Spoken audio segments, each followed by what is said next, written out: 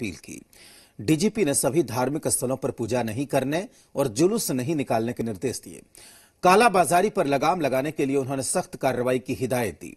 DGP ने इस मुश्किल घड़ी में लोगों की मदद के लिए जन प्रतिनिधियों से सहयोग करने की अपील की है।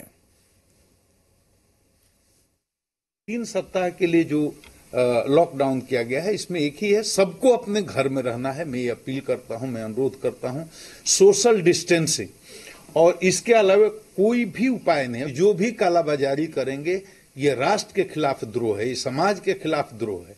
ये राष्ट्रीय आपदा के इस समय में अगर कोई मुनाफाखोरी करता है, कालाबाजारी करता है तो वो उसके साथ बहुत ही सख्ती के साथ निपटा जाएगा। आप ये वीडियो YouTube पर देख रहे हैं तो हमारे चैनल को सब्सक्राइब करें और बेल आइकन को दबाना ना भूलें।